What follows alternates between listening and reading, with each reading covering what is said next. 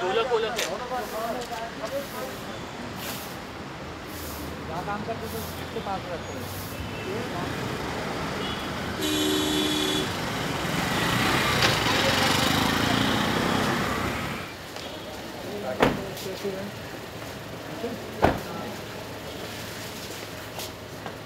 हार्दिक अभिनंदन आपका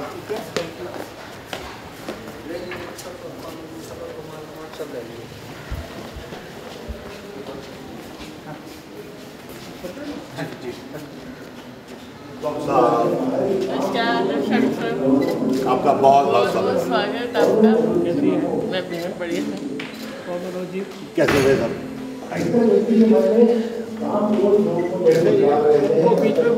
करो यार सुनो कैमरा ऑन बहुत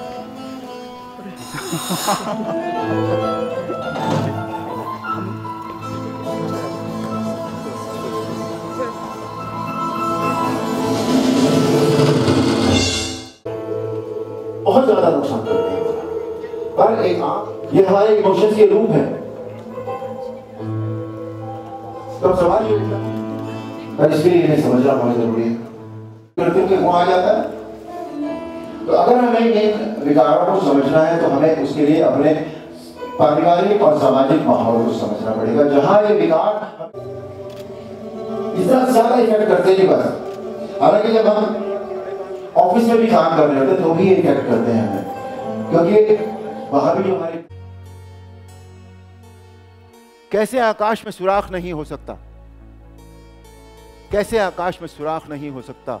एक पत्थर तो तबीयत से उछालो यारो। चंद जी ने कहा, और हर जगह मौजू होता है। तो प्रॉब्लम्स हमने अब सारी देख ली हैं, और अब हम बात करते हैं इन प्रॉब्लम्स के हल की, रामायण की। और रामायण में भी जो सबसे ज़्यादा प्रॉब्लम्स जहाँ हमें, जिनका हल हमें मिलता है, वो है अयोध्या कांड। अयोध्या कांड एक ऐसा उदाहरण है जो हमें हमारे मन को समझने में, हमारे विकारों को समझने में इमोशंस को समझने में, समाज को समझने में, पारिवारिक रिश्तों को समझने में हमें सबसे ज़्यादा हेल्प करता है। तो आइए चलते हैं अयोध्या कांड की तरफ़। बात वहाँ से शुरू होती है, जहाँ रानी कैकई की दासी, मंथरा।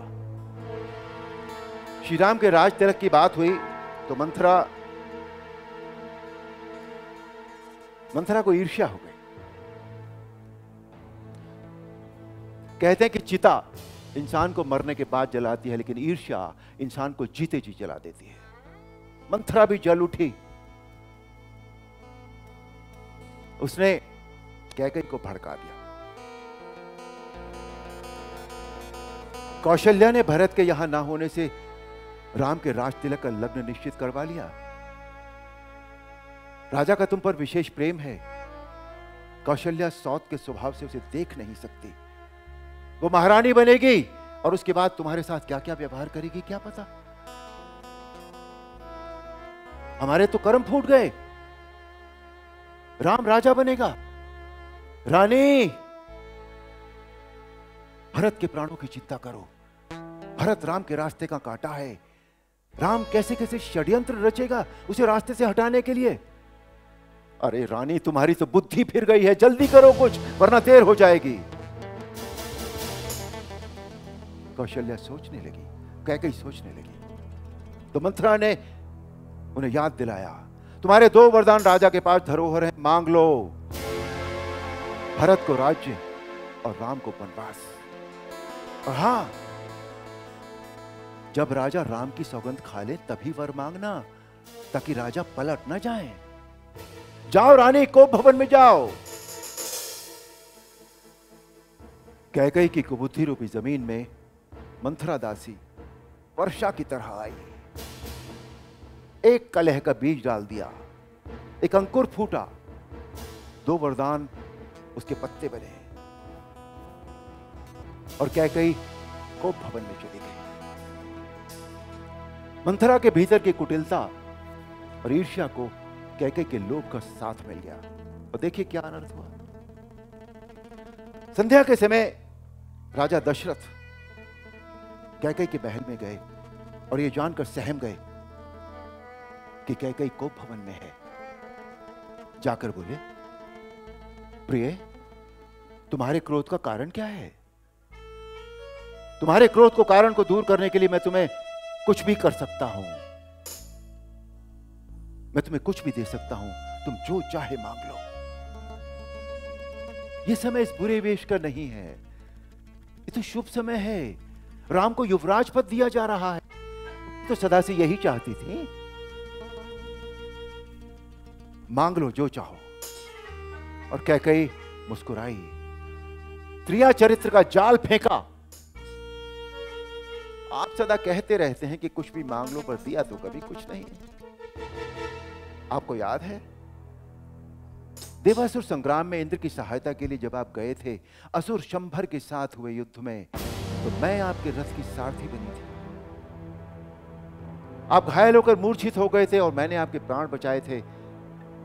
आपने मुझे दो वरदान मांगने के लिए कहा था। पर आप कहकर भूल जाते हैं। राजा बोले, नहीं, हमें याद है। मांगो क्या चाहिए?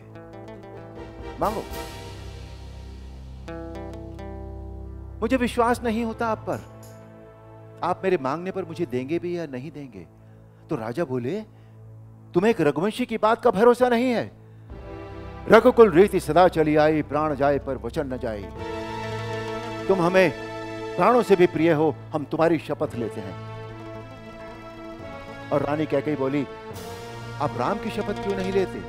राम आपको सबसे ज़्यादा प्रिय हैं। और राजा ने राम की शपथ ले ली। और तब कई कई ने ऐसा आघात राजा को दिया कि राजा सहम गए, उनका रंग उड़ गया। और एक ही पल में, एक ही पल में अयोध्या उजड़ गई। भरत को राज्य और राम को वनवास।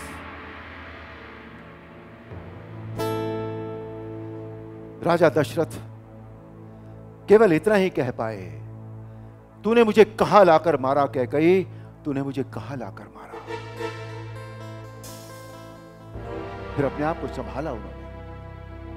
और बोले, मेरे लिए तो भरत और राम एक जैसे हैं। मैं भरत को ननिहाल से बुलवाकर सब तैयारी करके राज्य भरत को दे दूँगा। कौशल्या ने भी इस विषय में मुझसे कुछ नहीं कहा। हाँ पर तुमसे बिना पूछे मैंने ये सब किया, इसीलिए जो मैंने सोचा वो नहीं हुआ। पर तुमने ये जो दूसरा वर मांगा है ना, राम को वनवास। इसे बदल दो मेरा जीवन राम के बिना संभव नहीं है। कह कई बहुत समझाने पर भी नहीं मानी। बोले, ठीक है, वर नहीं देते तो अपयश के भागी बनिए। अन्यथा कल प्रातः सवेरा होते ही राम को मुनिवेश धारण करके वन जाना होगा। राजा और नहीं सहते। बोले कई मेरा मस्तक मांग ले। पर राम के विरह में मुझे मत मार। मेरा काल पिशाच होकर तुझे लग गया है। वही तुझसे ये सब कहलवा रहा है। ये सब मेरे किन्हीं पापों का परिणाम है, जो आज विधाता मेरे विपरीत हो गया। याद रख के कही तेरा कलंक और मेरा पछतावा मरने पर भी नहीं मिटेगा। जा मेरे सामने से चली जा और जब तक मैं जीवित रहूँ मुझे कभी कुछ न कहना। राजा गिर पड़े। पृथ्वी पर यह प्रार्थना करते हुए कि कल सवेरा ना हो। कैकई के भीतर के लोभ ने यह सब कैकई से करवाया। आप देख रहे हैं ना कि विकार हमारे लिए, हमारे साथ क्या क्या कर सकते हैं। श्री राम सुमंत्र के द्वारा श्री राम को दशरथ जी की दशा का पता लगा।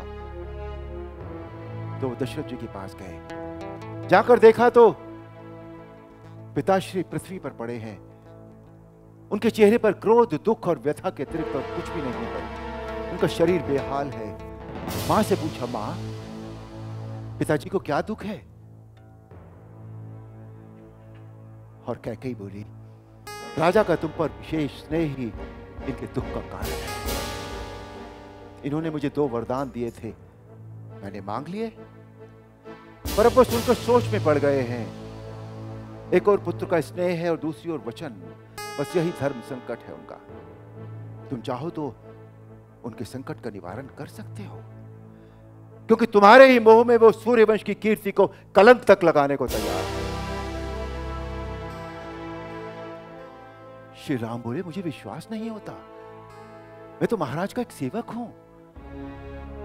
मेरे पिता धीर, वीर और अथाह गुणों के समुद्र हैं। वो किसी सेवक के मुँह में ऐसा कोई कार्य नहीं कर सकते जिससे कुल की कीर्ति को कलंक लगे। माता, आप मुझे महाराज के दुख का कारण बताइए। मैं अपने प्राण देकर भी उनके वचन की रक्षा करूँगा, उनकी आज्ञा का पालन करूँगा। आप मुझे बताइए कि वो दो वरदान क्या हैं। और कैकई ने बहुत ही सरलता से, बहुत ही सहजता से, जैसे कोई बहुत ही साधारण सी बात कहने जा रही हो, कह दिया। तुम्हारी जगह भरत का राज्य अभिषेक और तुम मुनिवेश धारण करके चौदह वर्ष वन में रहोगे। सूर्य कुल के सूर्य श्री राम मन ही मन मुस्कुराए और सब दोषों से रहित और कोमल कोमल वाणी में बोले ये सुंदर वचन, हे माता, पुत्र वही बड़भागी होता है जो माता पिता दोनों के वचनों का पालन करता है, दोनों को संतुष्ट करता है। मुझे लगता है आज विधाता मेरे अनुकूल है। भरत मुझे प्राणों से भी प्यारा है। उसे राज्य देने के लिए मुझे किसी की आज्ञा की कोई आवश्यकता नहीं है। ये तो मेरे लिए प्रसन्नता की बात है। और जहाँ तक वन गमन का प्रश्न है तो मेरा तो कल्याण हो गया। आपकी और पिताश्री की आज्ञा से मुझे वहाँ जाने का अवसर मिल रहा है, जहाँ मैं ऋषि और मुनियों के दर्शन कर सकूँगा, उनका आशीर्वाद प्राप्त कर सकूँगा। माता, मेरा तो चारों ओर से कल्याण ही कल्याण है। राजा दशरथ की मूर्छा दूर हुई। उन्होंने श्री राम की ओर देखा और आँखों से आंसुओं की धार बहने के लिए राम बोले, पिताश्री, इतनी छोटी सी बात के लिए आपने इतना दुख पाया? इसका अर्थ है कि आपको मेरे ऊपर विश्वास नहीं है। मैंने आपकी पीड़ा जान ली है। आप स्नेहवश होकर सोचना छोड़ दीजिए और हृदय में प्रसन्न होकर मुझे आज्ञा दीजिए। मुझे आशीर्वाद दीजिए कि मैं अपने आचरण से आपका पूर्ण विश्वास पा सकूँ और आपकी आज्ञा का पालन करके, आपके वचनों की करके अपना जीवन धन्य कर सकूँ। मैं माँ कौशल्या से विदा मांगकर अभी आता यह है श्री राम का पिता के प्रति समर्पण।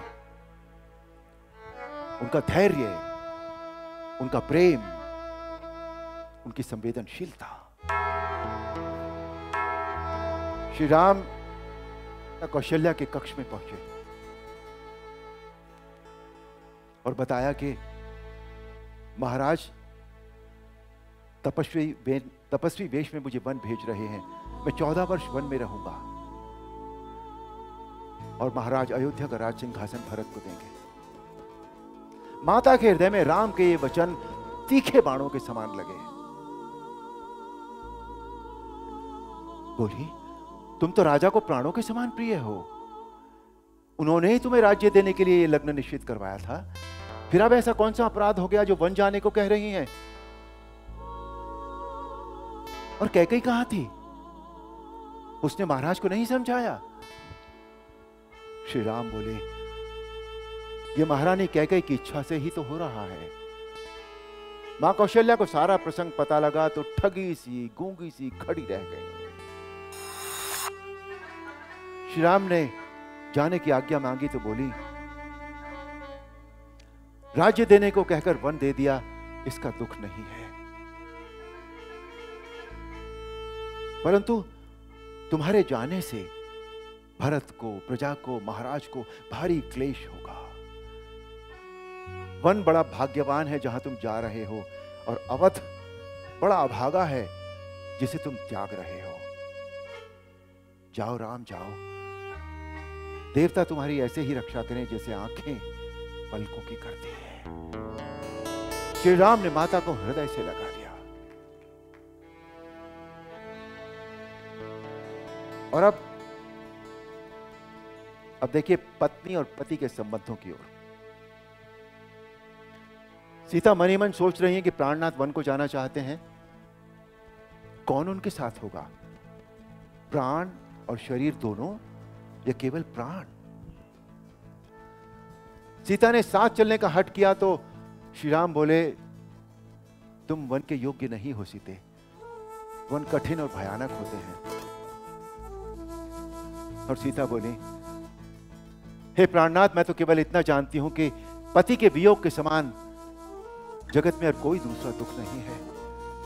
जैसे बिना जीव के देह और बिना जल के नदी, उसी प्रकार बिना राम के सीता एक पल भी नहीं रह सकती। हे प्राणनाथ, मैं आपके वियोग का भीषण दुख नहीं सह पाऊँगी।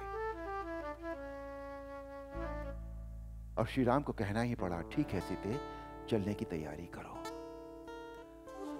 यह है समर्पण की पराकाष्ठा। पति नहीं चाहता कि पत्नी को पीड़ा हो, पर पत्नी साथ चलना चाहती है, वो सारी पीड़ा पति के साथ रहकर सहना चाहती है। और आज का समय, आज के समय में अधिकतर पति पत्नी दोनों अपनी अपनी प्रॉब्लम्स में लगे रहते हैं, दोनों की अपनी अपनी प्रायोरिटीज हैं, दोनों को अपना अपना पर्सनल स्पेस भी चाहिए।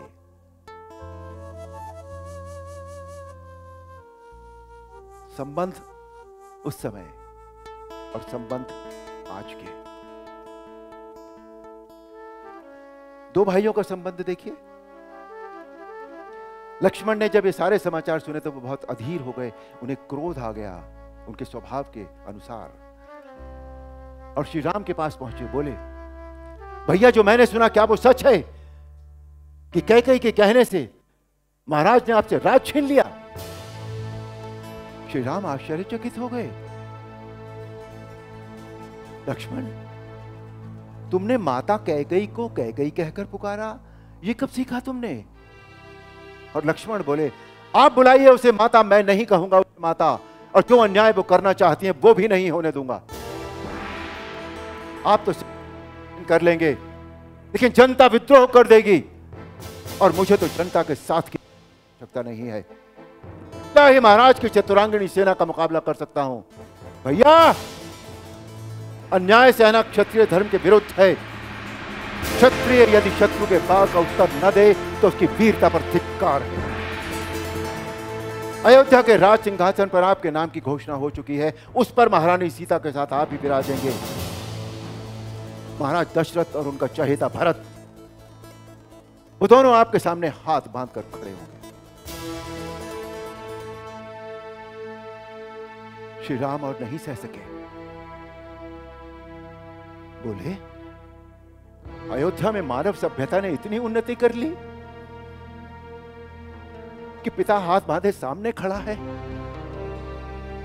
और पुत्र अपने आसन पर अपनी पत्नी के साथ बैठा उन्हें आज्ञा दे रहा है। लक्ष्मण बोले, लेकिन यदि पिता अपने आचरण से गिर जाए और अपने धर्मात्मा पुत्र के साथ एक स्त्री के मोह में फंसकर अन्याय करे तो मैं कैसे चुप रहूँ? श्री राम बहुत दुख के साथ, बहुत भाव के साथ बोले, मुझ पर किसी ने कोई अन्याय नहीं किया। मुझ पर किसी ने कोई अत्याचार नहीं किया। अत्याचार तो ये बातें हैं जो तुम मुझ पर कर रहे हो और पिता पर कर रहे हो।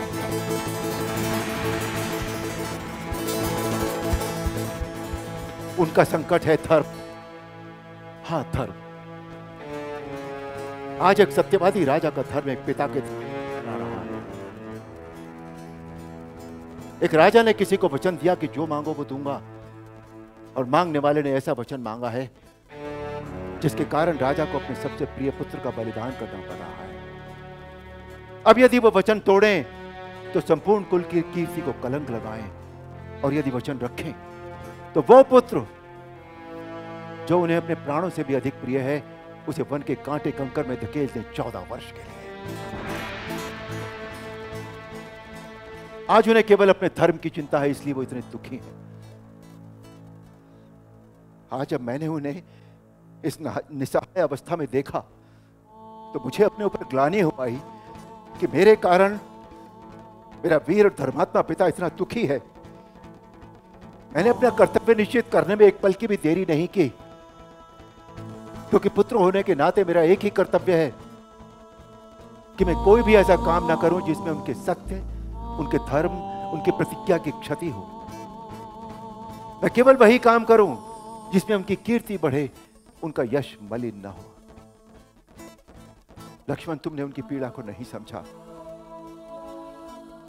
आज उनकी अवस्था उस घायल शेर की तरह है, जो किसी शिकारी के जाल में फंस गया है। और तुम ऐसे घायल शेर पर अपने तीर चलाकर अपनी वीरता दिखाना चाहते हो? धिक्कार है ऐसी वीरता पर। लक्ष्मण हमारे जैसे पिता तो किसी को बड़े भाग्य से मिलते हैं। परंतु यदि किसी का पिता दुराचारी भी क्यों ना हो? चाहे सारा संसार भी उसे त्याग दे तो भी पुत्र का धर्म है कि वो पिता को भगवान की तरह पूजे, क्योंकि पिता मनुष्य का प्राणदाता होता है। लक्ष्मण, जो पिता की भक्ति नहीं करते देवता तो क्या भगवान भी उनकी पूजा को स्वीकार नहीं करते? आज जो कुछ भी हो रहा है वो होनी है, जिसने माता कैकई जैसी स्नेही और पुण्यशीला स्त्री के मन में ऐसी बुद्धि दे दी है। और हाँ, मेरे जाने के पश्चात तुम राजा भरत की सेवा में रहना। लक्ष्मण आश्चर्यचकित हो गए। आपके जाने के पश्चात, इसका क्या अर्थ है? भैया, आप बन जाएँगे तो मुझे भी बन जाना होगा। आप मुझे अपने से अलग कब से समझने लगे भैया? आप ही ने तो कहा था कि लक्ष्मण मेरी दूसरी अंतरात्मा है, जो राम भोगेगा वही लक्ष्मण का भी भाग्य है। आप ही ने तो कहा था, जहाँ राम, वहाँ लक्ष्मण।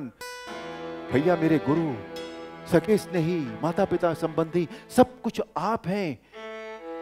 भैया, मुझे अपने से अलग ना करो। आपसे अलग मैंने अपने जीवन की कल्पना ही नहीं की, भैया। भैया, मुझे ले चलो। श्री राम ने लक्ष्मण को हृदय से लगा लिया। यह था एक भाई का, भाई के प्रति समर्पण।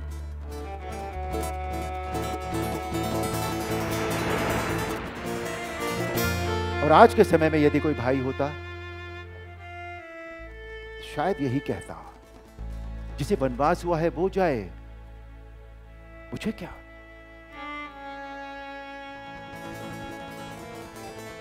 बिना भाई के साथ के रावण जैसा महाबली भी हार जाता है और भाई का साथ पाकर वनवासी होने पर भी श्री राम जीत जाते हैं।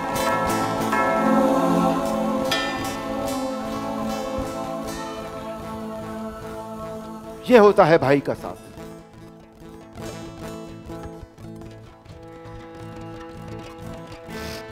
लक्ष्मण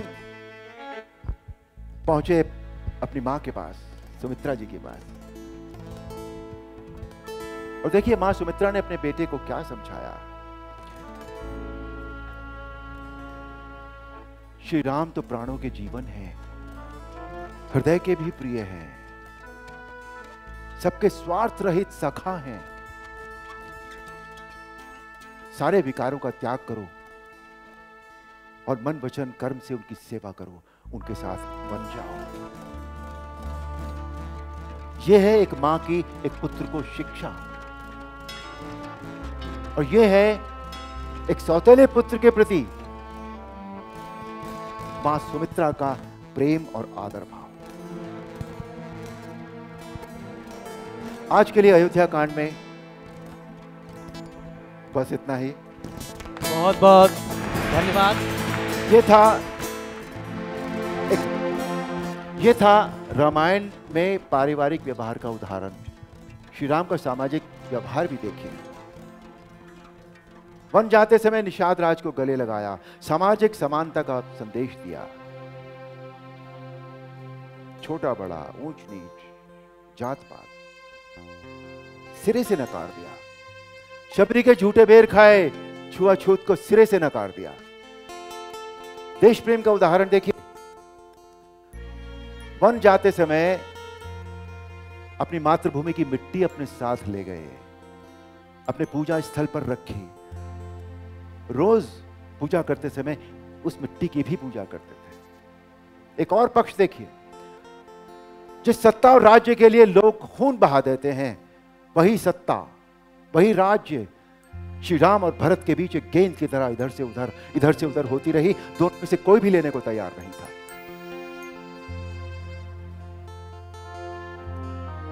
जब हम ये सब बातें करते हैं या सुनते हैं तो हमारे मन में एक प्रश्न ज़रूर उठता होगा, आपके मन में भी उठता होगा, कि उस समय बहुत सारे लोग कहते हैं, उस समय की काल परिस्थिति कुछ और थी, आज की काल परिस्थिति कुछ और है।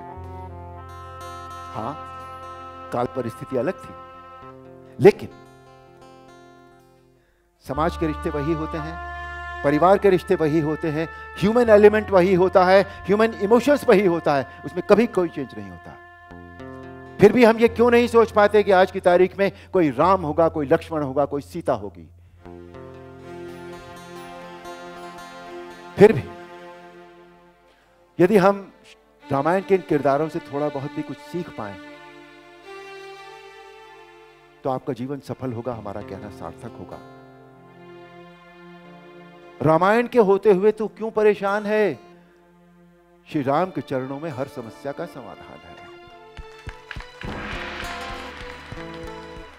आज का यह कार्यक्रम वनवासी रक्षा परिवार फाउंडेशन, जिनकी आज की मुहिम है घर घर अलग जगाना है, वनवासियों को गले लगाना है। श्री राम ने जिस तरह से वनवासियों को गले लगाया और उनसे नाता निभाया, उसका, उससे ज़्यादा सब प्रमाण और कहीं नहीं मिलता। उन्होंने वन वन जाकर वनवासियों के जीवन शैली को समझा। उनकी समस्याओं को समझा, उनका निदान किया। और संभवतः इसीलिए आज भी राम राज्य की मांग और अपेक्षा की जाती है। आज ये सच है कि हम श्री राम की तरह हर जरूरतमंद वनवासी तक नहीं पहुँच सकते, लेकिन हम उस राह पर चलते हुए अपनी यथोचित सहायता तो उन तक पहुँचा सकते हैं। हमारा ये छोटा सा प्रयास है, अगर इस प्रयास से एक भी वनवासी का भला हो सका तो ये हमारे लिए सौभाग्य होगा और हमारा ये प्रयास सफल होगा। जय श्री राम। जय श्री राम। एक बार अरुण जी के लिए तालियाँ बजनी चाहिए। जीवन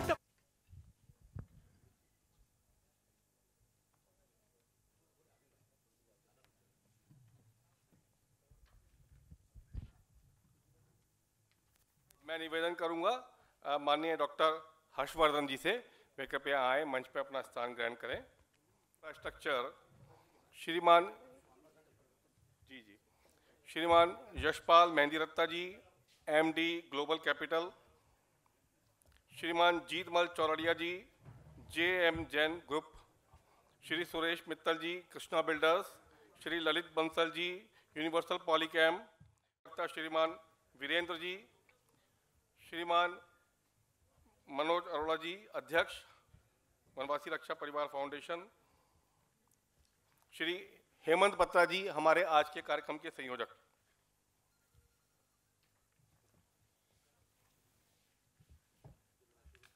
जी। मैं हमारे अध्यक्ष श्रीमान मनोज अरोड़ा जी से निवेदन कर रहा हूँ कि वे अपना अध्यक्ष उद्बोधन रखें। समय की सीमा को देखते हुए मैं उद्बोधन नहीं रखूँगा।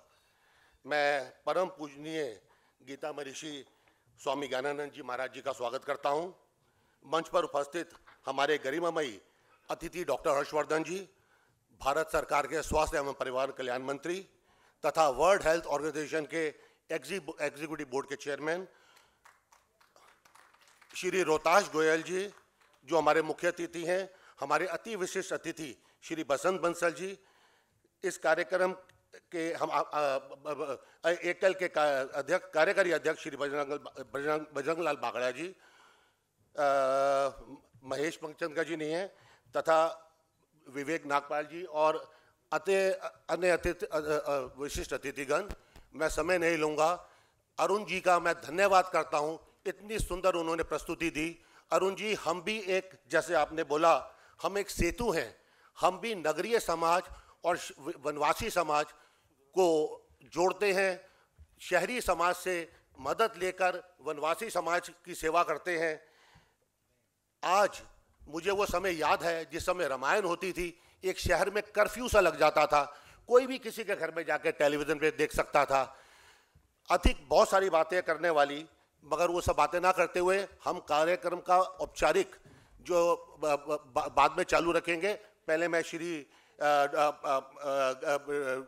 स्वामी ज्ञानानंद जी से प्रार्थना करूँगा कि वो अपना, आपके पास पाँच सात मिनट का जो समय है, वो हमें दें और उसके बाद हम डॉक्टर साहब से बातचीत करेंगे। धन्यवाद। ओम ओम प्रजाभ्य परिपाल्यन्तां न्यायेण मार्गेण महिमहिष। गौब्राह्मणेभ्य शुभमस्तु नित्यं, लोकः समस्तः सुखिनो भवन्तु। लोकः समस्तः सुखिनो भवन्तु। वंदे भारत मातरम पुण्यधरा भारत माता को वंदन। राष्ट्र की सभी दिव्य परंपराओं को नमन वंदन।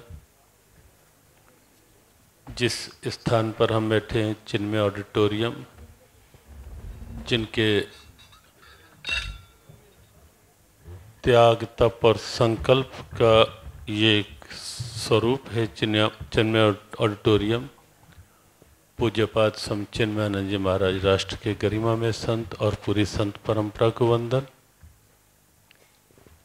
बनवासी कुंभ परिवार फाउंडेशन जो है, जिस ढंग से एक स्तुत्य वंदनीय प्रयास जो हो रहा है उस प्रयास को नमन वंदन और सुंदर प्रस्तुति, बहुत प्रेरक प्रस्तुति का आनंद हम ले रहे थे आदरणीय अरुण गोविल जी के द्वारा और जिस प्रकार से उन्होंने रामायण और हम के माध्यम से अपनी परंपराओं को एक जीवंत प्रेरणा के रूप में हम सबके समक्ष प्रस्तुत किया, वो वास्तव में दर्शाता है कि रामायण क्या है, हम क्या थे, हमें क्या होना चाहिए और आज हम क्या हो रहे हैं।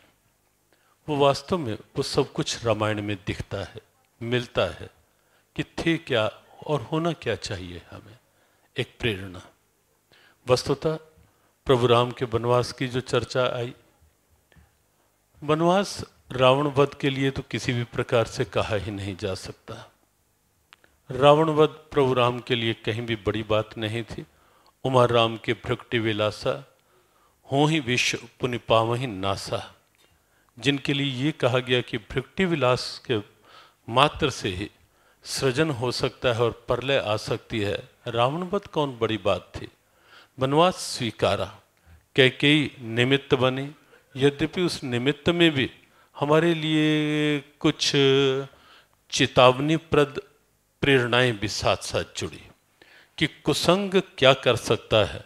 हमारे से जब कोई पूछता है एक वाक्य में कि सत्संग और कुसंग का क्या अंतर है, हम कहते हैं, सत्संग वो है कि हनुमान जैसे परम संत का सानिध्य पाकर लंकनी की बुद्धि भी संवर गई और लंकनी भी कहने लग गई, तात स्वर्ग, अपवर्ग सुख धैर्य तुला एक अंग। और तुल नता ही सकल मिले जो सुख लव सत्संग। और कुसंग वो है जहाँ मंथरा के संपर्क में आकर के कई की बुद्धि बिगड़ गई और अयोध्या का क्या स्वरूप बना दिया। अच्छी बुद्धि को बिगाड़ दे वो कुसंग और बिगड़ी बुद्धि को संवार दे वो सत्संग। और वो प्रेरणाएँ भी ऐसी मिलती हैं। लेकिन जिस प्रकार से वनवास की भूमिका तैयार हुई, कहीं ना कहीं राघव की अपनी ही इच्छा थी क्योंकि वो केवल ये नहीं विश्व में कहलवाना चाहते थे कि मैं इस थरा पर अवतार लेकर आया हूँ, केवल अयोध्या के राजमहलों के लिए। वो ये सिद्ध करना चाहते थे कि मैं केवल राजमहलों का नहीं हूँ, मैं केवल नगरवासियों का नहीं हूँ, कहीं केवट की नौका मांग करके, कहीं निषाद को गले लगा करके कहीं शबरी के पास स्वयं चल करके जा करके और शबरी के जूठे बेर खा करके और कहीं कोल, किरात, भील सबको अपने साथ मिला करके राम दुनिया को ये बताना चाहते थे कि मैं केवल नगरवासियों का नहीं, मैं इनका भी हूँ। मैं सबका हूँ। समता, समरसता, सद्भाव और इसीलिए हम कहते हैं कि राम, हमारी आस्था है, ये सत्य है, लेकिन राम मर्यादा है। राम परंपरा है राम अस्मिता है राम आराम है और राम हमारे राष्ट्र का हर प्रकार से हर रूप में गौरव है। और जिस प्रकार से प्रभु राम का मंदिर श्री राम मंदिर बन रहा है सौभाग्य से उन क्षणों का साक्षी होने का आ, की कृपा हुई जिस समय और वास्तव में हर अयोध्यावासी के मन में एक नई उत्सुकता देखने को मिली कि अब राम मंदिर बन रहा है। और राम मंदिर के लिए जो एक निधि समर्पण योजना जिस बैठक में चर्चा हुई, वही थे। और वहाँ कहा गया कि ये केवल निधि की बात नहीं है, ये बात है समता की। समरस सबको लगे कि राम मेरे हैं, राम समता है, राम समरसता है, सद्भावना है। और अभी डॉक्टर साहब, हम हरियाणा में उस योजना का प्रारंभ गोहाना की एक वाल्मीकि बस्ती से करने के लिए गए हरियाणा में। क्या करुण और अद्भुत दृश्य था जब उस वाल्मीकि बस्ती में हम कुछ गलियों में गए सभी कार्यकर्ता साथ थे।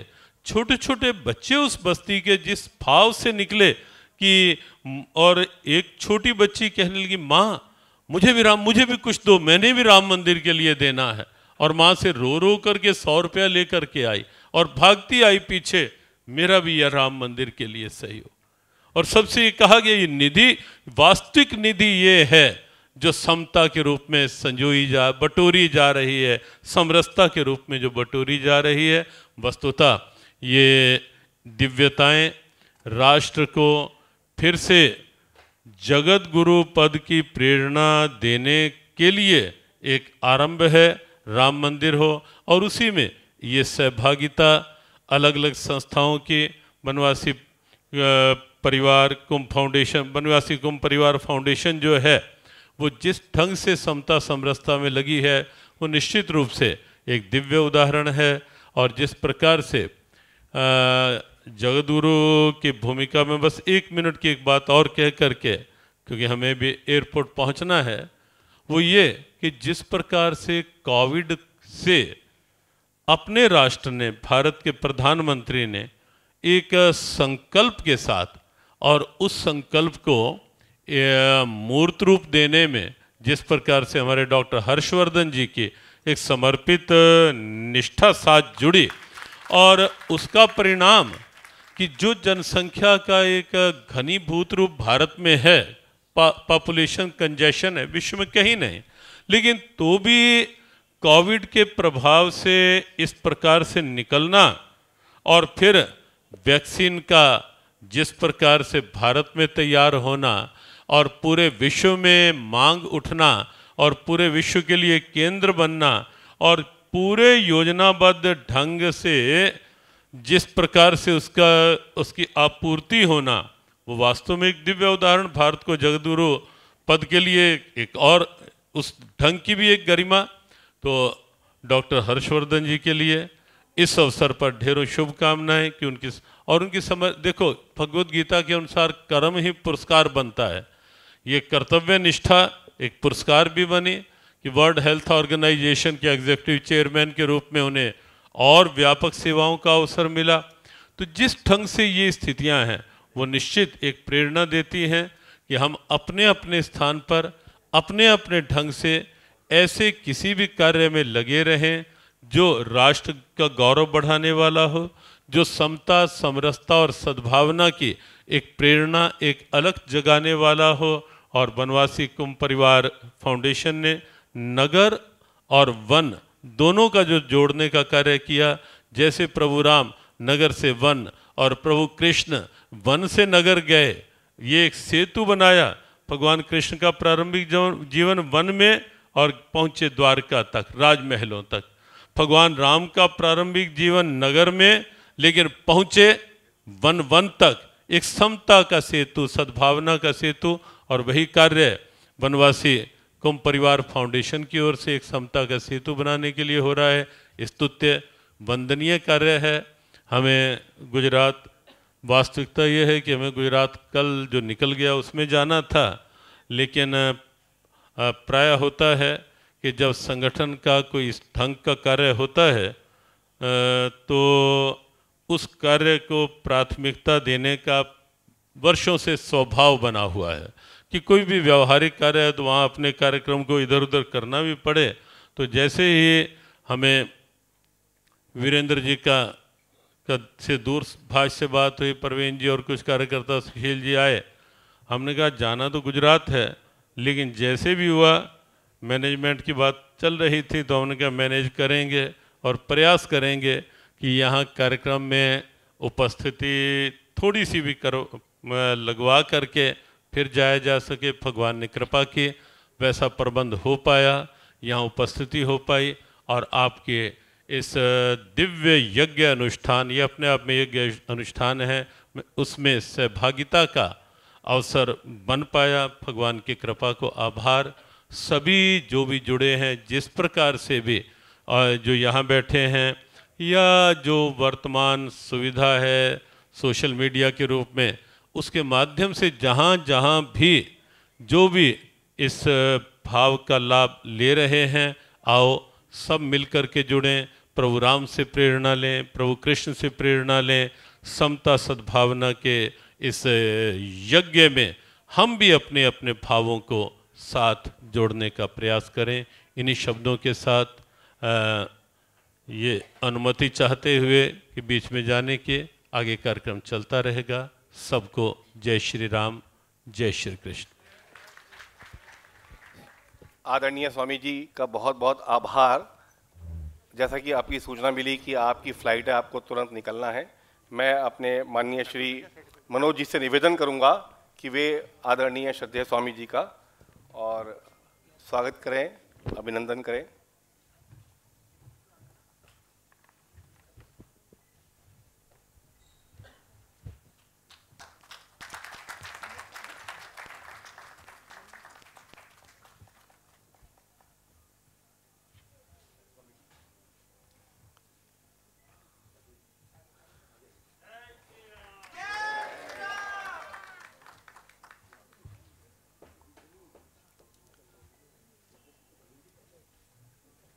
श्रद्धेय स्वामी जी प्रस्थान कर रहे हैं। हमें आशा है आपका आशीर्वाद और आपका प्रेरणा हमसे आगे भी मिलती रहेगी। अब मंच पर अन्य सभी विशिष्ट अतिथियों का परिचय का समय। सर्वप्रथम मैं अपनी सभी बहनों से निवेदन करूँगा कि वे मंचस्थ सभी अतिथियों के लिए और परिचय और स्वागत के लिए अंग, वस्त्र और स्मृति चिन्ह लेकर के आए।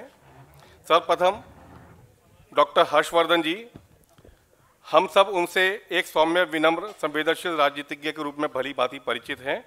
आप दिल्ली से लोकसभा सांसद हैं और भारत सरकार के विज्ञान एवं प्रौद्योगिकी स्वास्थ्य एवं परिवार कल्याण इस प्रकार के दो मंत्रालयों के मंत्री हैं, तथा डब्ल्यू के जैसा भाई साहब ने बताया एग्जीक्यूटिव बोर्ड के चेयरमैन हैं।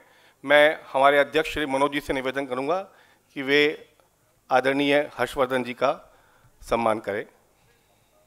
कृपया तालियों की जोरदार ध्वनि के साथ में आप सब भी हमारा उत्साहवर्धन करते रहें।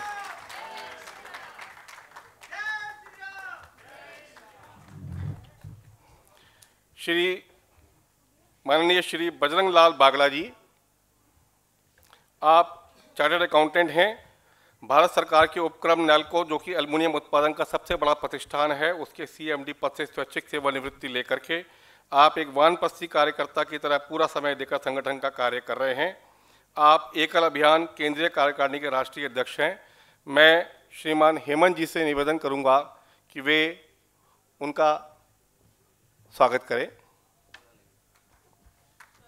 हेमंत जी, हमारे आज के इस कार्यक्रम के संयोजक हैं। श्रीमान रोहतास गोयल जी, आप प्रसिद्ध ओमेक्स ग्रुप के सीएमडी हैं एवं हमारे आज के मुख्य अतिथि हैं। मैं आदरणीय डॉक्टर हर्षवर्धन जी से निवेदन करूँगा कि वे कृपया उनका सम्मान करें।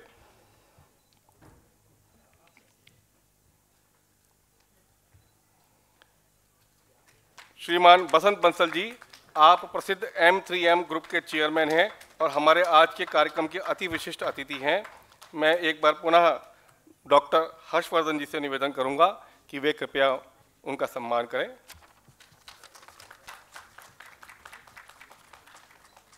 Shriman Ashok Agarwal ji chairman globe capital माननीय डॉक्टर हर्षवर्धन जी, आप कृपया उनका सम्मान करें। श्रीमान राजेंद्र चमड़िया जी, आप स्टार सीमेंट के वाइस चेयरमैन हैं। मैं आदरणीय डॉक्टर जी से निवेदन करूँगा कि वे उनका स्वागत करें। श्री विवेक नागपाल जी, आप रोस मेहता ग्रुप से हैं। आदरणीय डॉक्टर जी, उनका स्वागत करें।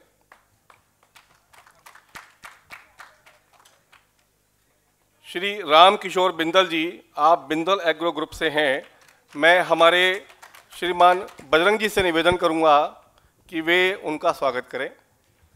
इसमें थोड़ी सी जानकारी, हमारे यहाँ चार बंधु ऐसे हैं जो एक हज़ार गाँवों का सहयोग इस संस्था को दे रहे हैं। उसमें आज के मुख्य अतिथि हमारे श्रीमान रोहतास जी, आज के अति विशिष्ट अतिथि हमारे श्रीमान बसंत बंसल जी और हमारे छोटे भाई विवेक नागपाल जी। हाँ? तो ये ऐसे बंधु हैं जिन्होंने एक हज़ार गाँव का सहयोग इस संस्था को दे रहे हैं।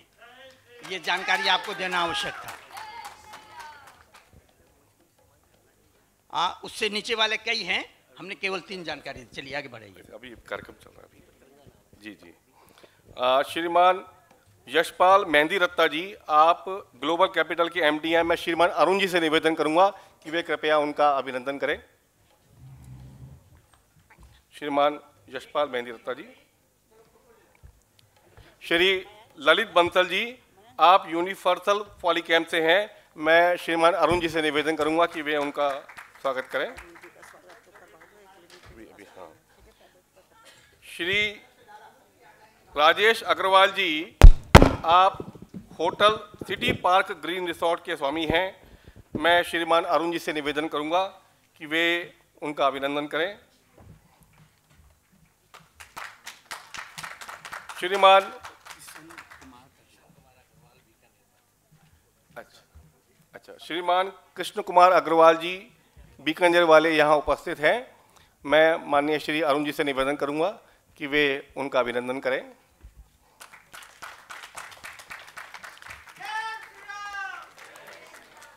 हमारे सबके प्रेरणा के स्रोत, मार्गदर्शक, राष्ट्रीय स्वयंसेवक संघ के वरिष्ठ प्रचारक, श्रीमान वीरेंद्र जी, आप हमारे अखिल भारतीय नगर संगठन प्रमुख हैं। मैं श्रीमान मनो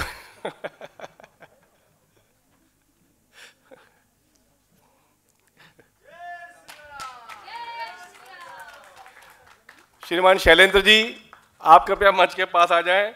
अब हमारे जो अध्यक्ष हैं, श्रीमान मनोज अरोड़ा जी, जिनकी प्रेरणा से इस प्रकार से संगठन का कार्य बड़ी तेज़ी से प्रगति कर रहा है। मैं हमारे कोषाध्यक्ष श्रीमान शैलेंद्र जी से निवेदन करूँगा कि वे उनका अभिनंदन करें। श्रीमान हेमंत पत्रा जी, जो कि अपने आज के इस कार्यक्रम के संयोजक हैं, अभी पिछले वर्ष से ही जो हमारे विषय के साथ जुड़े थे, मैं अपने उपाध्यक्ष श्रीमान मोहन सेठ जी से निवेदन करूँगा कि वे कृपया उनका अभिनंदन करें।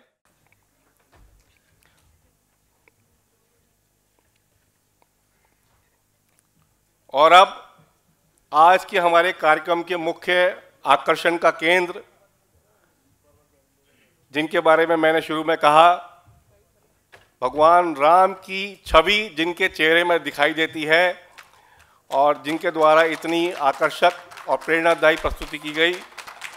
ऐसे हम सबके बीच में तालियों की जोरदार ध्वनि के साथ में हमारे अरुण गोविल जी, मैं हमारी महिला समिति से बहन शशि आज़ाद जी से निवेदन करूँगा कि वे कृपया उनको स्मृति चिन्ह देकर और उनका अभिनंदन करें।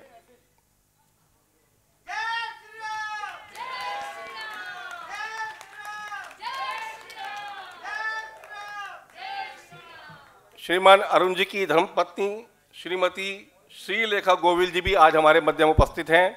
मैं रुक्मणी जी से निवेदन करूँगा कि कृपया उनका भी स्वागत और अभिनंदन करें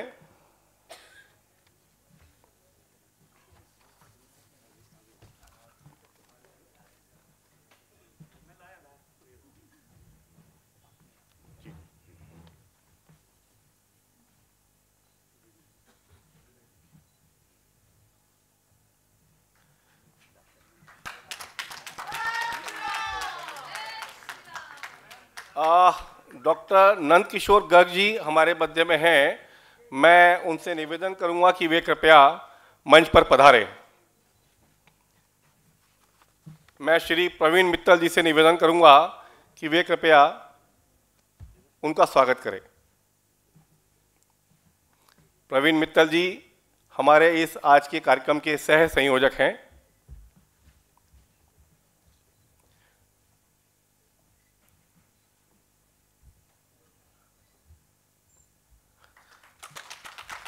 अब मैं मंचस्थ सभी अतिथियों से निवेदन करूँगा कि कृपया अपना स्थान ग्रहण करें और मैं आमंत्रित कर रहा हूँ हमारे श्रीमान वीरेंद्र जी को कि वे हमारे इस कार्य के विषय में हमारे सामने संक्षेप में और इसकी जानकारी रखें।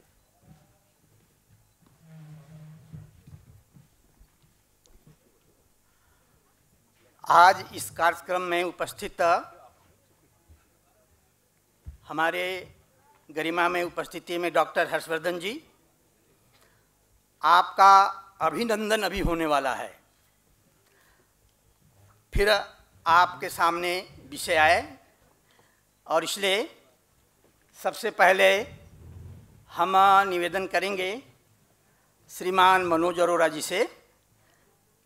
अभी बनवासी रक्षा परिवार फाउंडेशन ने तय किया इस कोरोना काल में प्रधानमंत्री के नेतृत्व में जो सक्षम कार्य किया आपने, आपका बनवासी रक्षा परिवार फाउंडेशन के हज़ारों रक्षा परिवार और लाखों कार्यकर्ताओं की तरफ़ से आपका अभिनंदन किया जाए। और इसलिए अभिनंदन पत्र श्रीमान मनोज जी पढ़ेंगे, फिर पाँच मिनट, ज़्यादा नहीं, पाँच मिनट समय लेंगे, फिर डॉक्टर साहब का आशीर्वचन हमको मिलेगा। तो पहले मनोज जी इस क्रिया को पूरा करें।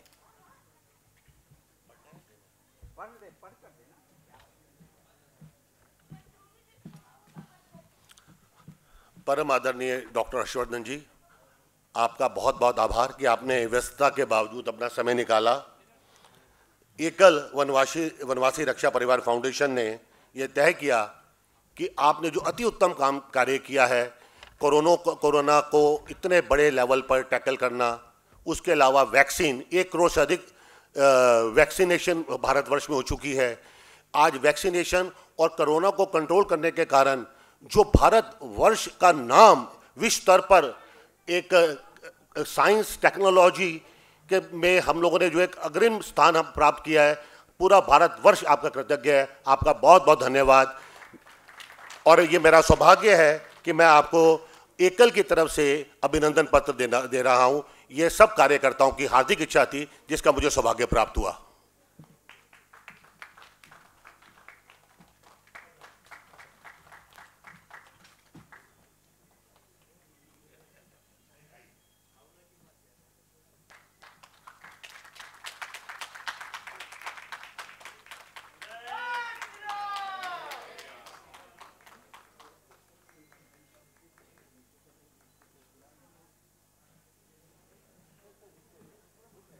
एक आवश्यक कार्य छूट रहा था, ये पूर्ण हो गया। एक और छोटा सा काम छूटा हुआ है। जल्दी से पुस्तक का सबके हाथ में डालिए, विमोचन हो जाए। विषय आप सुनते रहते हैं, जो आज के कार्यक्रम की औपचारिकता है पूरा हो जाए। भीतर से लाकर किताब दीजिए सबके हाथ में। इस कोरोना काल में बनवासी रक्षा परिवार फाउंडेशन ने संस्कार परिवार की योजना चलाई। हज़ारों परिवार इस काम से जुड़े। प्रस्तावना में हमारे दिग्विजय जी ने उसकी जानकारी दी है और उसी समय कई ऐसे रक्षा परिवार पत्रक निकले। उन सबों का एक संकलित स्वरूप परिवार बेश ऐसा 24 पृष्ठों की पुस्तिका है। आ, इस पुस्तक हम सब लेकर जाएँगे। हम सब जिस सनातन हिंदू चिंतन के हैं उस चिंतन को प्रकट करने के दृष्टि से छोटे से प्रयास है बनवासी रक्षा परिवार फाउंडेशन के द्वारा। तो आ, लगता है आ जाएँगे वो। सोचने में थोड़ी सी देर होती है ना आज जल्दी जल्दी कुछ हो रहा है। आ, दो मिनट का विषय रख जाएँगे तब तक आ जाएँगे तो ये भी विषय समाप्त हो जाएगा। हम सब जानते हैं बनवासी रक्षा परिवार फाउंडेशन पिछले 10-12 वर्षों से इस दिल्ली के पहले दिल्ली से शुरू हुआ और दिल्ली से चलते चलते विभाग में ज़िले में अब नगरों तक संगठन की इकाइयाँ पहुँच गई हैं।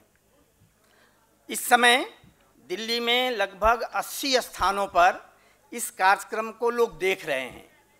इसी प्रकार से किसी न किसी हॉल में इकट्ठे होकर और उसी पद्धति से सैकड़ों स्थानों पर परिवार में पाँच दस परिवार इकट्ठे होकर इस कार्यक्रम को देख रहे हैं।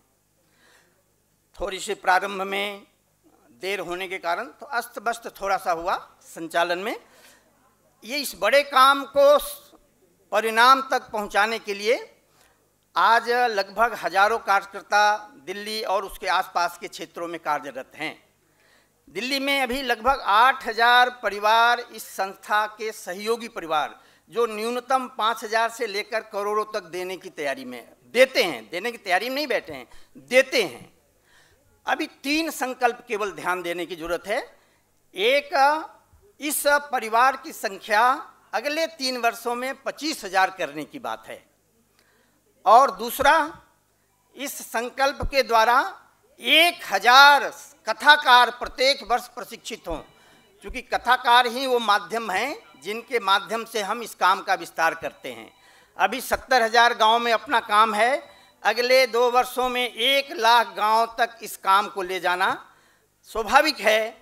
हम जो कर रहे हैं, इससे डेढ़ गुना काम करने का ये संस्था ने संकल्प लिया है।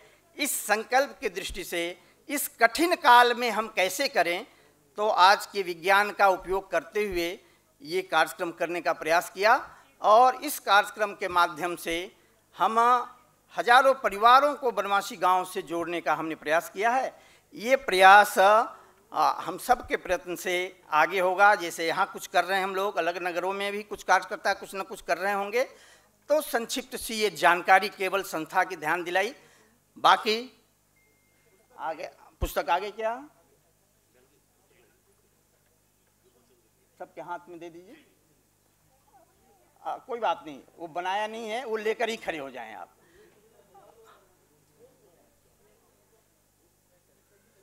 इसी ये सबके पास पूरे दिल्ली में चले गए हैं विमोचन यहाँ हो रहा है लेकिन सब जगह ऐसा हो रहा है। एक बार।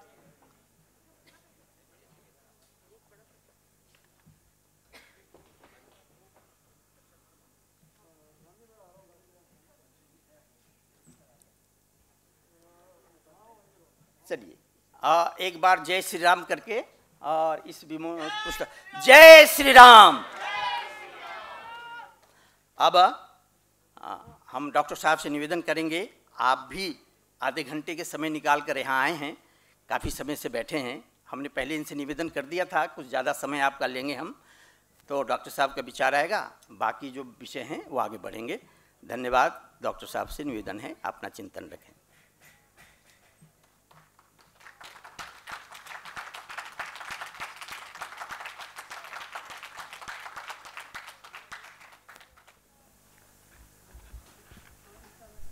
मंच को सुशोभित कर रहे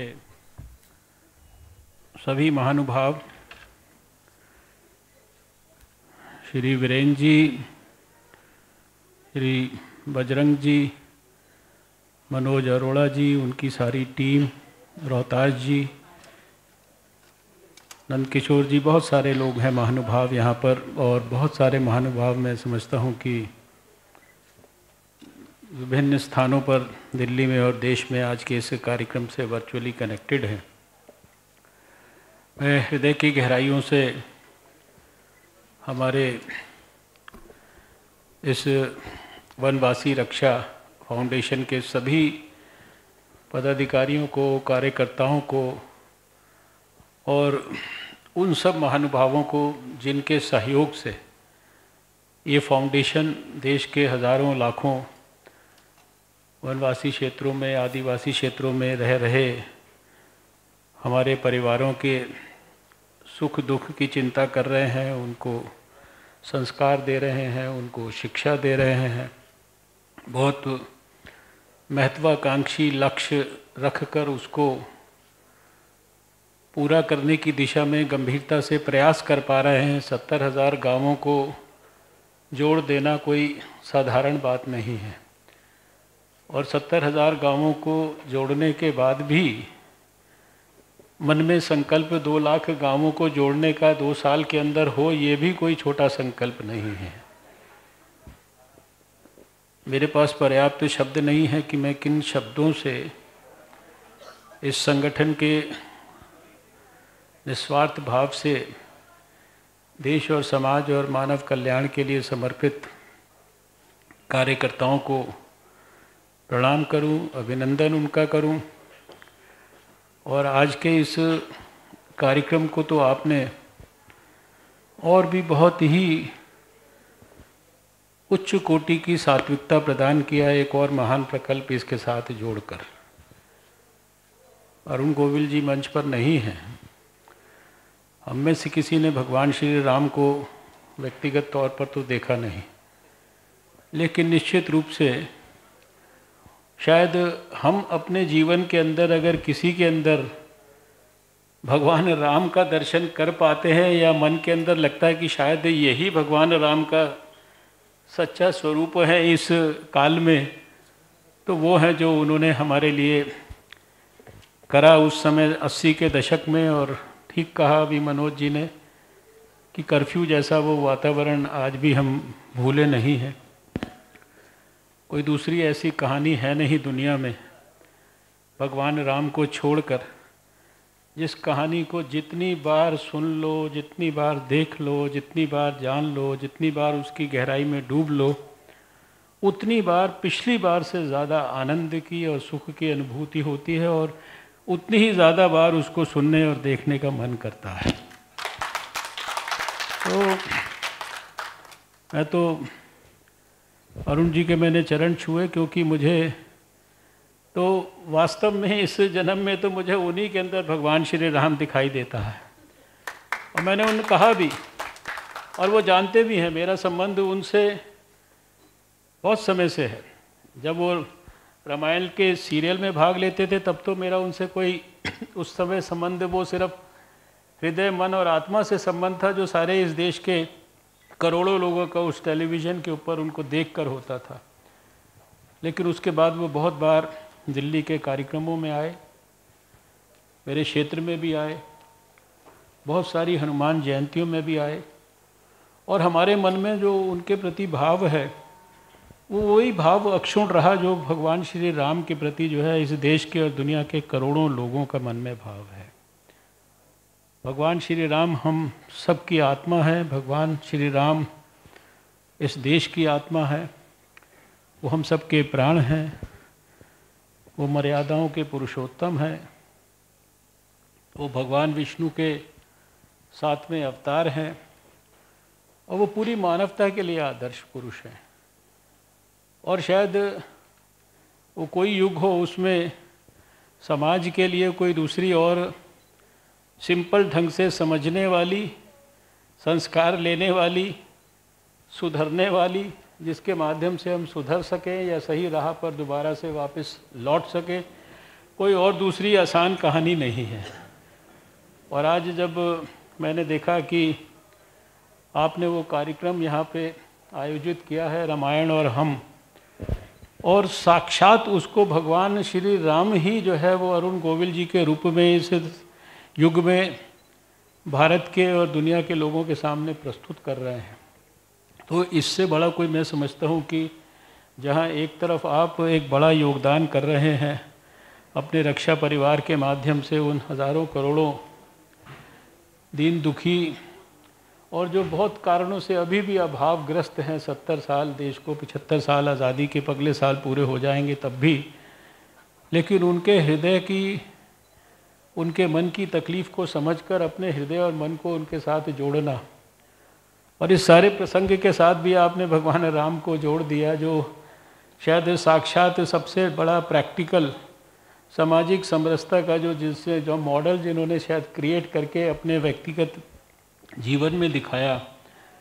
तो ये तो हम सब लोग बहुत भाग्यशाली हैं कि हमको इस संस्था से, इसके सात्विक काम से जुड़ने का मौका मिला है।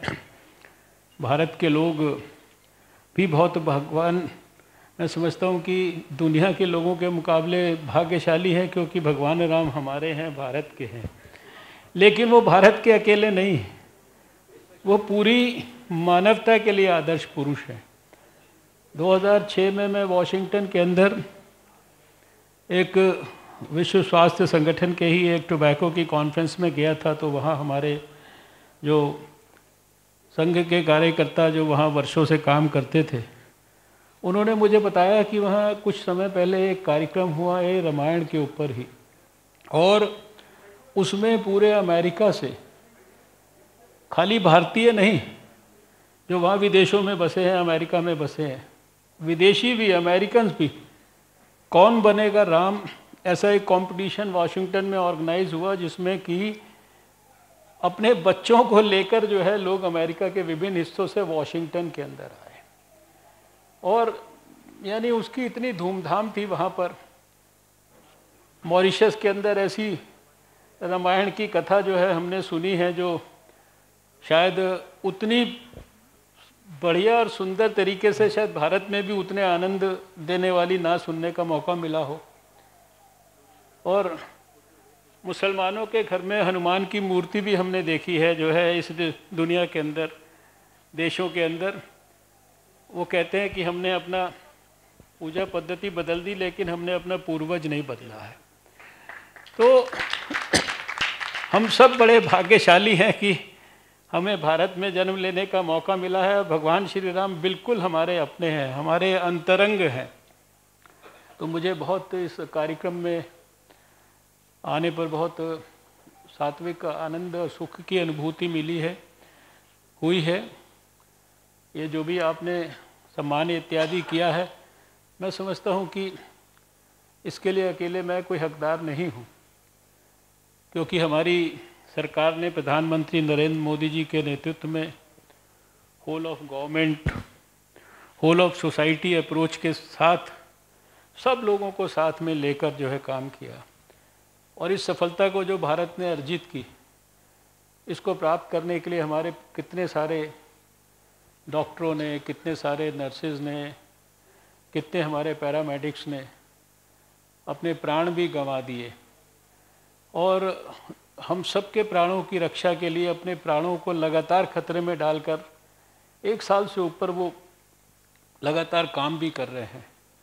आज जिस वैक्सीन की आप चर्चा कर रहे थे जो एक करोड़ से ज़्यादा लोगों को हेल्थ वर्कर्स और फ्रंटलाइन वर्कर्स को भारत में लग चुकी है, जो दुनिया के 25 से ज़्यादा देशों में भेजी जा चुकी है और लगभग चार दर्जन से ज़्यादा देश अभी हमसे मांग रहे हैं कि हमें और वैक्सीन दीजिए। ये एक असाधारण, अभूतपूर्व और बहुत ही भारत के लिए एक प्रकार से गौरव की परिस्थिति है। इसको बनाने के लिए हमारे वैज्ञानिकों ने दिन रात पिछले एक साल कितना परिश्रम किया है? मैं स्वयं विज्ञान और प्रौद्योगिकी का मंत्री हूँ, इसलिए मैं उस बात को जानता हूँ। इसलिए मैंने कहा कि ये जो आपने सम्मान किया है, ये उन सब लोगों का सम्मान है। सब लोगों के कंट्रीब्यूशन का सम्मान है। हाँ हम लोगों ने ज़रूर ये प्रयास किया कि प्रधानमंत्री नरेंद्र मोदी जी के नेतृत्व में दिन और रात, पिछले एक साल के अंदर ना दिन देखा, ना रात देखी। और हृदय, मन और आत्मा लगाकर अपने देश के लोगों को कोविड से सुरक्षित रखने का प्रयास किया है। आज के इस अवसर पर मैं केवल इतना कहूँगा कि मैं जब से आया हूँ, मैंने देखा कि अधिकांश लोग या तो मास्क लगाए बगैर हैं, या अधिकांश लोगों का मास्क उनकी जेब में है। या बहुत सारे लोगों का मास्क जो है वो गले पे लटका हुआ है। या बहुत सारे ऐसे हैं जो घर से मास्क लेकर ही नहीं आए हैं। तो अभी अगर हमारी प्राण की रक्षा कोई कोविड से सही मायने में कर सकता है तो मैंने जब वैक्सीन बनी नहीं थी तब भी कहा था कि ये मास्क, ये दो गज की दूरी और ये हाथों की लगातार साबुन से धुलाई। ये जो है, ये सही मायने में असली सोशल वैक्सीन ये है। और अगर आप सबको जो दूर से भी मेरे साथ जुड़े हैं, आज ये गलत फहमी है कि अब वैक्सीन आ गई है, वैक्सीन लग रही है। हमारे एक करोड़ सात आठ लाख लोगों में से नौ, एक करोड़ नौ लाख लोगों में से एक करोड़ छः लाख लोग तो ठीक होकर घर चले गए हैं। हमारा दुनिया में सबसे कम 1.43 प्रतिशत फर्टैलिटी रेट है। हमारा रिकवरी रेट सतानवे प्रतिशत से ऊपर हो गया है। ये सब होने के बावजूद भी अगर ये लापरवाही आपने की और जहाँ जहाँ आप देख रहे हैं कि ठीक होने पर भी लोगों ने कैजुअली लेना शुरू किया तो आज महाराष्ट्र में, केरल में और दूसरे तीसरे प्रांतों के अंदर दोबारा से क्या परेशानी हो रही है? और दुनिया के उन देशों में जिन्होंने मास्क का मज़ाक उड़ाया था।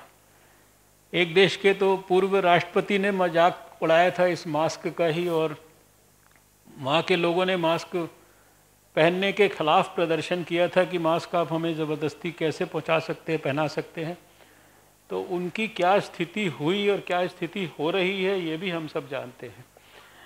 इसलिए आज के इस अवसर पर मेरा आपसे सबसे ये विनम्र निवेदन है कि जिन गाँव वालों के लिए भी काम कर रहे हैं, जिन आदिवासी और वनवासियों के लिए काम कर रहे हैं, जब तक कोविड के खिलाफ जंग में अंतिम विजय का एक प्रकार से शंखनाद नहीं होता है तब तक ये हम सब के लिए बहुत ज़रूरी है।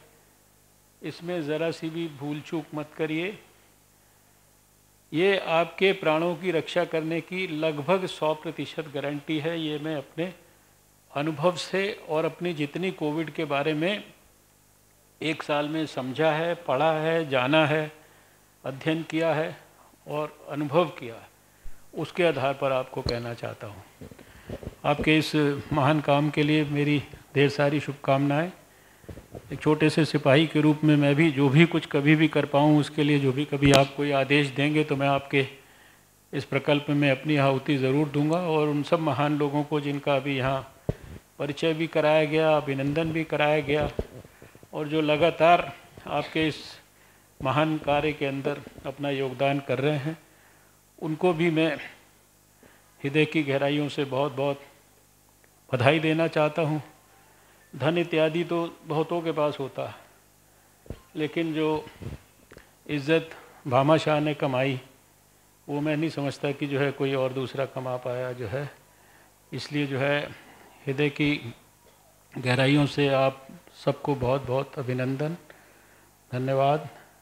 नमस्कार। जय हिंद। भारत माता की जय। धन्यवाद, डॉक्टर साहब। जैसा कि आपने भारतवर्ष में पोलियो के उन्मूलन में मुख्य भूमिका निभाई थी और अब कोरोना मुक्त भारत करने के लिए आप यशस्वी प्रधानमंत्री जी के साथ प्रयासरत हैं और बधाई के पात्र हैं। धन्यवाद। और बहुत बहुत धन्यवाद, डॉक्टर साहब, आपका।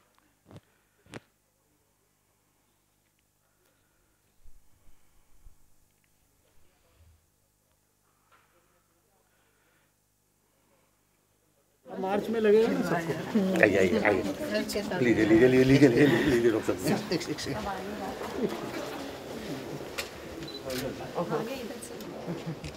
बस सर ये फ़ोटो खींचने जाती है छब्बीस दिसंबर को लोकार्पण आपने कैसे दिसंबर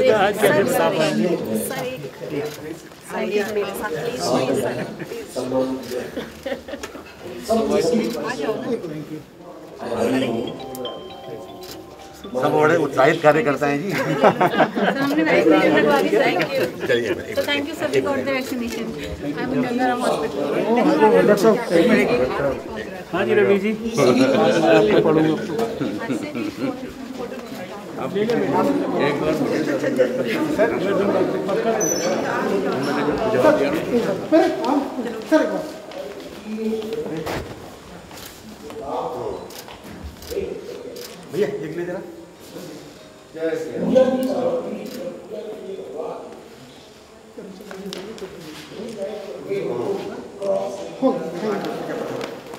नंद चौधरी जी ना राष्ट्रीय अध्यक्ष हैं कोई व्यवस्था में गड़बड़ भी रहता क्योंकि कार्यक्रम माता नेता ये शुरू उधर से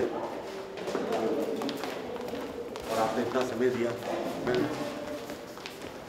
तो मैं ये कर नहीं सकता। आगे डॉक्टर। साहब आपने जो प्रोत्साहन दिया ना कार्यकर्ताओं को आगे डॉक्टर साहब ये आपका इतना आभार और इतने निष्क्रिय भाव से सब लोग लगे हुए हैं कि एक पूरी मेहनत हो रही है जी। कैसे लोगों को किया जाए और मैक्सिमम कोशिश है जी। आपका बहुत बहुत धन्यवाद। आपने thank you so much thank you sir कैसे हैं? ठीक है? थैंक यू निस्वार्थ भाव थैंक यू